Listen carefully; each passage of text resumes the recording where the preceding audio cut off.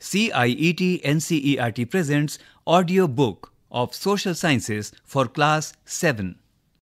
Audiobook Social and Political Life Part 2 Class 7 Unit 4 titled Media. This unit has one chapter in it. Chapter 6 titled Understanding Media. From page number 70 to 79.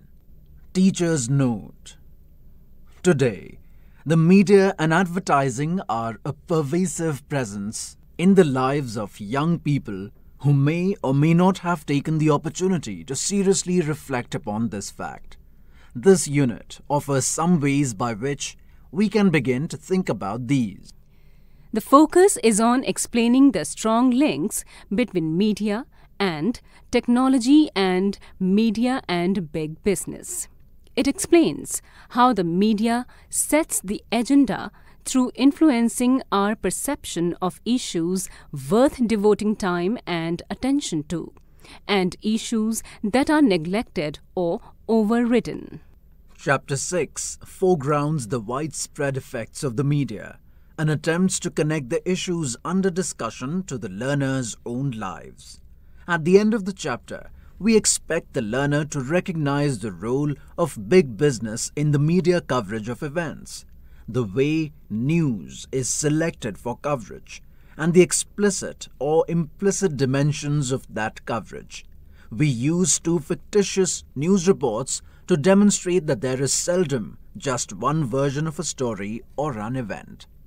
Building on this, we expect the learner to develop the skills required to critically analyze a newspaper report or a television story through scrutinizing the information provided as well as understanding the logic behind the exclusion of certain perspectives. These ideas can be strengthened by selecting examples from actual advertisements and structuring similar questions around them. This chapter concludes by linking its contents to the idea of democracy. It emphasizes, through using examples of local media as well as social advertising, how mainstream media and advertising tend to favor those who have greater financial as well as social resources. This point can be reinforced in the classroom by using local examples of media stories as well as posing questions about the ways in which advertising is changing what is locally available as well as locally valued. Now, let's listen to Chapter 6 titled Understanding Media. Page number 70. Chapter 6 Understanding Media. A collage has been given on page number 70. Here, types of media has been given in the form of different pictures, like pictures of an internet cafe, a book depot, a satellite dish, a person using mobile, some people protesting, some hoardings at railway station, a picture of a radio station, a singer performing live in front of the audience, and a picture of a cineplex, etc. What is your favorite TV program? What do you like listening to on the radio? Which newspaper or magazine do you usually read? Do you surf the internet and what have you found most useful about it? Did you know that there is one word that is often used to collectively refer to the radio, TV, newspapers, internet, and several other forms of communication? This word is media. In this chapter, you will read more about the media. You will find out what is required to make it work, as well as the ways in which the media affects our daily lives. Can you think of one thing that you have learned from the media this week? Page number 71. Everything ranging from the stall at the local fair to the program that you see on TV can be called media. Media is the plural form of the word medium, and it describes the various ways through which we communicate in society, because media refers to all means of communication. Everything ranging from a phone call to the evening news on TV can be called media. TV, radio, and newspapers are a form of media that reaches millions of people, or the masses, across the country and the world, and thus they are called mass media. Media and technology. It would probably be difficult for you to imagine your life without the media. But cable television and the widespread use of the internet is a recent phenomenon. These have been around for less than 20 years. The technology that mass media uses keeps changing. Newspapers, television, and radio can reach millions of people because they use certain technologies. We also tend to discuss newspapers and magazines as the print media and TV and radio as the electronic media. Why do you think newspapers are called print media? As you read further, you will find that this naming is related to the different technologies that these media use. The following photographs will give you a sense of the ways in which technology that mass media uses has changed over the years and continues to change. A drawing has been given on page number 71. This shows an artist's impression of the Gutenberg printing the first sheet of the Bible. Ask older members of your family about what they used to listen to on the radio when there was no TV around. Find out from them when the first TV came to your area. When was cable TV introduced? How many people in your neighborhood use the internet?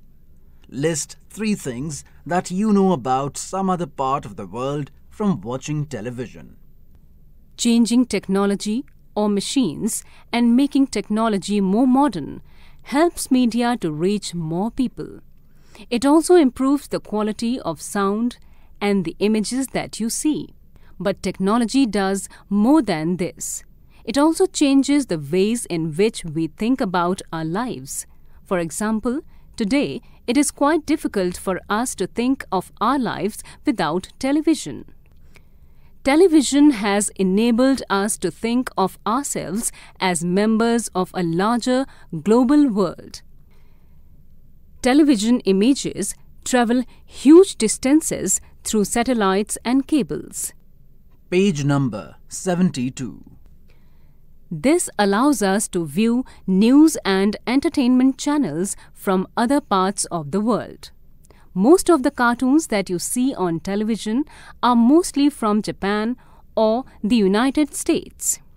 We can now be sitting in Chennai or Jammu and can see images of a storm that has hit the coast of Florida in the United States. Television has brought the world closer to us media and money. The different technologies that mass media use are expensive. Just think about the TV studio in which the newsreader sits. It has lights, cameras, sound recorders, transmission satellites, etc., all of which cost a lot of money. In a news studio, it is not only the newsreader who needs to be paid, but also a number of other people who help put the broadcast together. This includes those who look after the cameras and lights. Also, as you heard earlier, the technologies that mass media use keep changing, and so a lot of money is spent on getting the latest technology. Due to these costs, the mass media needs a great deal of money to do its work. As a result, most television channels and newspapers are part of big business houses. Here on page number 72, there is a picture given. In this picture, an electronic typewriter has been given. With electronic typewriters, journalism underwent a sea change in the 1940s. Again, on the same page, there is a picture of John L. Baird sitting in front of the apparatus with which he demonstrated to the Royal Institute his invention the televisor, and early television. Can you list three different products that are advertised during your favorite TV program? Take a newspaper and count the number of advertisements in it. Some people say that newspapers have too many advertisements. Do you think this is true and why? Mass media is constantly thinking of ways to make money. One way in which the mass media earns money is by advertising different things like cars, chocolates, clothes, mobile phones, etc. You must have noticed the number of advertisements that you have to see while watching your favorite television show. While watching a cricket match on TV, the same advertisements are shown repeatedly between each over, and so you are often watching the same image over and over again. As you will hear in this chapter, advertisements are repeated in the hope that you will go out and buy what is advertised. Page number 73. Here on page number 73, a picture from a news agency has been given. In this picture, employees are working on computers and some television screens are there on the wall where different news items are being displayed on each screen. Next to the picture, a note has been given. It reads The cost to advertise on a TV channel varies from rupees 1000 to rupees 1 lakh per 10 seconds, depending on the popularity of the channel and time. Again, on the same page, there is a picture given of a bookstall where different magazines and newspapers are given. Next to it, a note has been given. It reads The print media offers a large variety of information to suit the taste of different readers. Media and democracy. In a democracy, the media plays a very important role in providing news and discussing events taking place in the country and the world. It is on the basis of this information that citizens can, for example, learn how government works. And often, if they wish to, they can take action on the basis of these news stories. Some of the ways in which they can do this is by writing letters to the concerned minister, organizing a public protest, starting a signature campaign, asking the government to rethink its program, etc. Given the role that the media plays in providing information, it is important that the information be balanced. Let us understand what we mean by a balanced media report by reading two versions of the same news event given on the next page. Page number 74.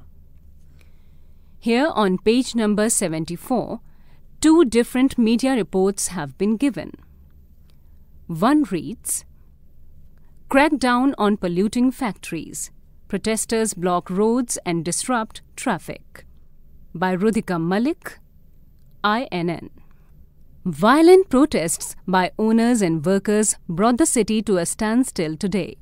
People getting to work could not do so on time because of huge traffic jams.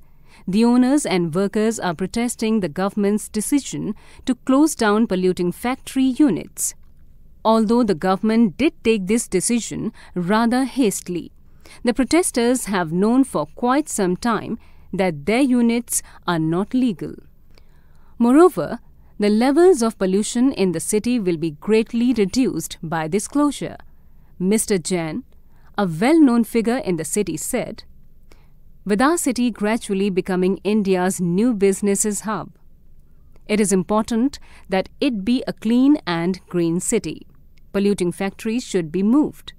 The factory owners and workers should accept the relocation being offered by the government instead of protesting. On page number 74, there is another newspaper report given titled Closure of Factories Causes Unrest by the Daily News Service. The closure of 1 lakh factories in the city's residential areas is likely to become a serious issue.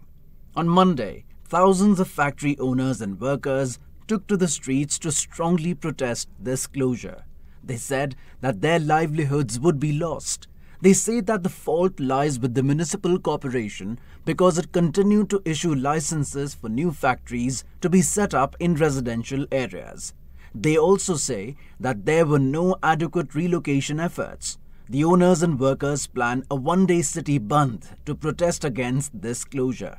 Mr. Sharma, one of the factory owners, said, The government says that it has done a lot to relocate us, but the areas they have sent us to have no facilities and have not been developed for the last five years.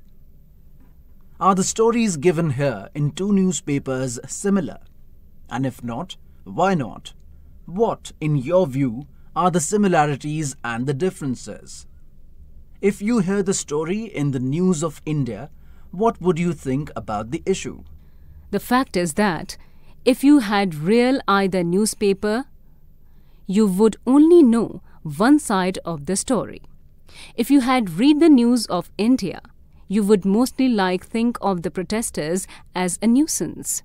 They're disrupting traffic and continually polluting the city with their factories leaves you with a bad impression about them.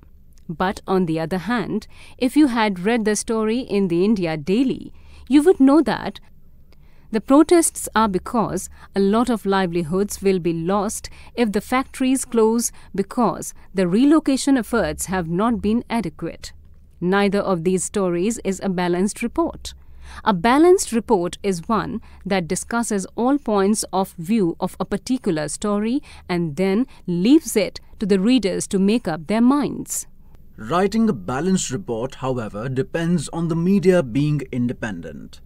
An independent media means that no one should control and influence its coverage of news. No one should tell the media what can be included and what should not be included in a news story. An independent media is important in a democracy. As you just heard, it is on the basis of the information that the media provides that we take action as citizens. So, it is important that this information is reliable and not biased. Page number 75. Do you think it is important to know both sides of the story? Why? Pretend that you are a journalist for a newspaper and write a balanced story from the two news reports. However, the reality is that media is far from independent. This is mainly because of two reasons. The first is the control that the government has on the media. When the government prevents either a news item or scenes from a movie, or the lyrics of a song from being shared with the larger public, this is referred to as censorship. There have been periods in Indian history when the government censored the media. The worst of these was the emergency between 1975 to 1977. Here on page number 75, there is a colored box given. In this box, a picture is given here. In this picture, a family is watching TV. The write up in this colored box is titled, What Does TV Do to Us? and What Can We Do with TV? In many of our homes, TV is on a lot of the time. In many ways, a lot of our impressions about the world around us are formed by what we see on TV. It is like a window on the world. How do you think it influences us? TV has different types of programs, soap operas like Saas Bhi Kabhi Bahu Thi, game shows like Kaun Banega Crorepati, reality TV shows like Big Boss, news, sports, and cartoons. Before, in between, and after each program are advertisements. Since TV time costs so much money, only those programs that can attract the maximum number of viewers are shown. Can you think of what such programs might be? Think of what are the kinds of things that TV shows and what it does not. Does it shows us more about the lives of the rich or the poor? We need to think about what TV does to us how it shapes our views of the world, our beliefs, attitudes, and values. We need to realize that it gives us a partial view of the world. While we enjoy our favorite programs, we should always be aware of the large, exciting world beyond our TV screens. There is so much happening out there that TV ignores. A world beyond film stars, celebrities, and rich lifestyles. A world that all of us need to reach out to and respond to in various ways. We need to be active viewers who question whatever we see and hear, while we may enjoy it too. Page number 76. While the government does continue to censor films, it does not really censor the media's coverage of news. Despite the absence of censorship by the government, most newspapers nowadays still fail to provide a balanced story. The reasons for this are complicated. Persons who research the media have said that this happens because business houses control the media. At times, it is in the interest of these businesses to focus on only one side of the story. Media's continual need for money and its links to advertising means that it becomes difficult for media to be reporting against people who give them advertisements. Media is, thus, no longer considered independent because of its close links to business. Besides this, the media also tends to focus on a particular aspect of a story because they believe this makes the story interesting. Also, if they want to increase public support for an issue, they often do this by focusing on one side of a story. Here on page number 76, there is a picture given. In this picture, a cover page of a magazine has been given entitled Down to Earth. The caption on the cover page reads Soft Drinks, Hard Truths. Setting agendas. The media also plays an important role in deciding what stories to focus on and therefore decides on what is newsworthy. For example, the annual function at your school is unlikely to make the news. But if a famous actor is invited as the chief guest, then the media might be interested in covering it. By focusing on particular issues, the media influences our thoughts, feelings, and actions and brings those issues to our attention. Due to the significant influence it plays in our lives and in shaping our thoughts, it is commonly said that the media sets the agenda. Very recently, the media drew our attention to alarming levels of pesticides in cola drinks. They published reports that indicated the high levels of pesticides and thus made us aware of the need to regularly monitor these colas according to international quality and safety standards. Page number 77. They did this despite the government's resistance by boldly declaring that colas were unsafe. In covering this story, the media positively helped us focus on an issue that affects our lives and one that we might not even have been aware of it. Had it not been for media reporting? On page number 77, there is a picture given of a fashion event. In this picture, there is a model and a fashion designer. Beside the picture, there is a note given which reads Fashion shows are very popular with the media. What is the consequence of the media setting the agenda by reporting on the fashion week rather than the slum demolitions? Can you think of an issue that does not seem important to you because it is never featured in the media? There are several instances when the media fails to focus on issues that are significant in our lives. For example, drinking water is a major problem in the country. Every year, thousands of people suffer and die because they do not get safe drinking water. However, we seldom find the media discussing this issue. A well known Indian journalist wrote of how the Fashion Week, in which clothes designers show their new creations to rich people, formed the front page headlines of all the newspapers while several slums were being demolished in Mumbai the very same week, and this was not even noticed. As citizens of a democracy, the media has a very important role to play in our lives because it is through the media that we hear about issues related to the working of the government. Here on page number 77, a colored box has been given. In this box, there is a picture given. In this picture, two women are reading a local newspaper. A write up has been given in this box titled Local Media. Recognizing that the media will not be interested in covering small issues that involve ordinary people and their daily lives, several local groups have come forward to start their own media. Several people use community radio to tell farmers about the prices of different crops and advise them on the use of seeds and fertilizers. Others make documentary films with fairly cheap and easily available video cameras on real life conditions faced by different poor communities, and at times have even given the poor these video cameras to make films on their own lives. Another example is a newspaper called Khabar Lahariya which is a fortnightly that is run by eight Dalit women in Chitrakoot district in Uttar Pradesh.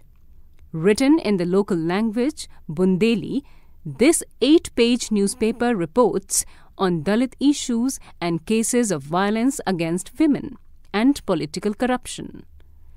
The newspaper reaches farmers, shopkeepers, panchayat members, school teachers, and women who have recently learnt to read and write. Page number 78. The media decides what to focus on, and in this way, it sets the agenda. The government can, at times, prevent the media from publishing a story, and this is called censorship. Nowadays, media's close relationship with business often means that a balanced report is difficult to come by.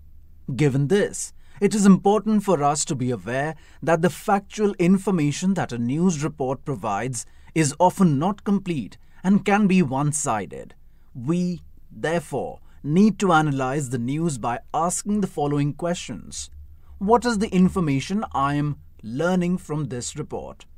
what information is not being provided. From whose point of view is the article being written?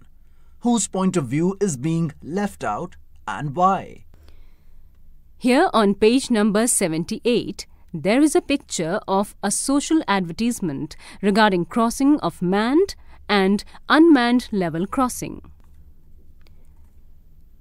In the first picture, people are waiting for the train to pass near a manned crossing. And the other one is of unmanned crossing, where a man in a car is waiting for the train to pass. Slogan of the picture reads At railway level crossings, alertness is the key to safety, and some instructions have been given by Northern Railway.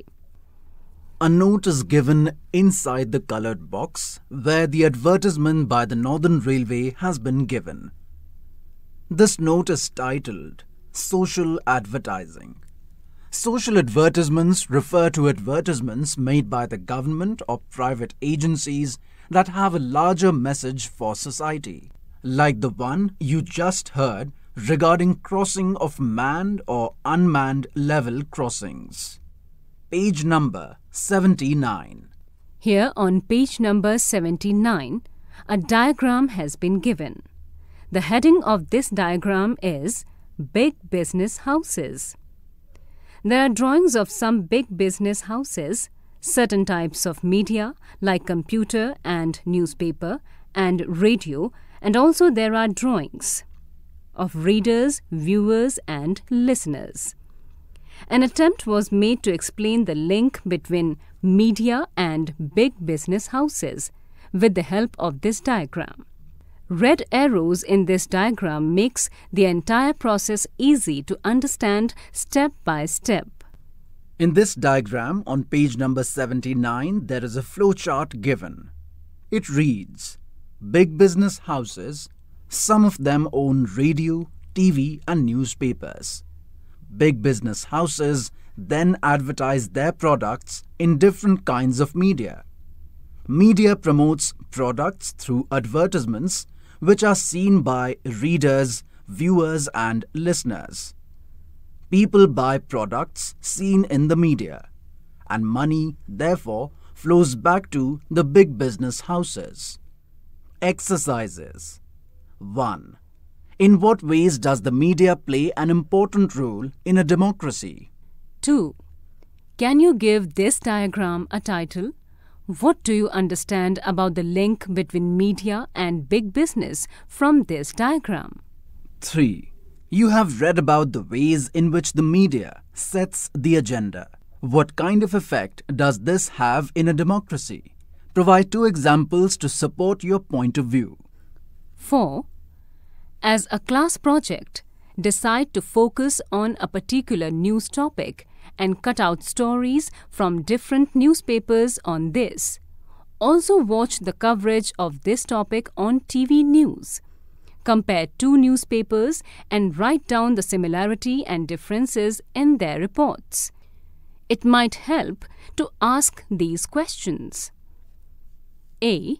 What information is this article providing? B. What information is it leaving out? C. From whose point of view is the article being written? D. Whose point of view is being left out and why? 5. Do projects solo, pair, or group about types of advertisements? Create commercial advertisements about some products and social advertisement about public health, road safety, and the need to save water and energy. Glossary Publish. This refers to news reports, articles, interviews, stories, etc., that are printed in newspapers, magazines, and books for a wide audience to read. Censorship. This refers to the powers that government has to disallow media from publishing or showing certain stories. Broadcast.